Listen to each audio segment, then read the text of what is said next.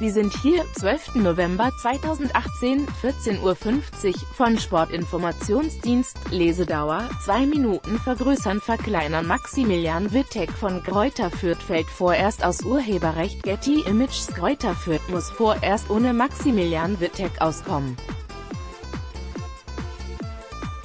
Der Außenverteidiger zieht sich eine schlimme Platzwunde und eine Augenverletzung zu.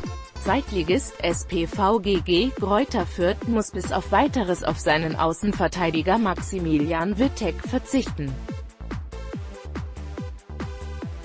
Der 23-Jährige erlitt beim Auswärtsspiel bei Union Berlin 0 zu 4 unter anderem eine Verletzung des Augenmuskels, wie die Franken mitteilten, überdies habe eine heftige Platzwunde, die sich Wittek bei einem Kopfballduell zugezogen hatte, mehrschichtig genäht werden müssen.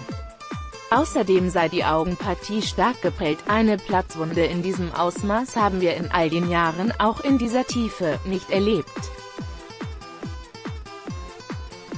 Nachfolgende CT-Untersuchungen im Kopfbereich haben Gott sei Dank keine weiteren Schäden gezeigt, sagte Martin Meichelbeck, der technischer Direktor der Fürther.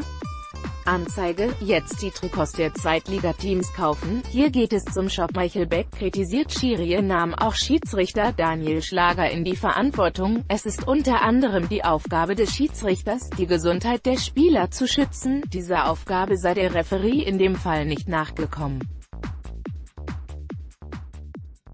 Diese und nachfolgende Fehlentscheidungen haben natürlich auch einen deutlichen Einfluss auf das Spiel genommen, sagte Meichelbeck.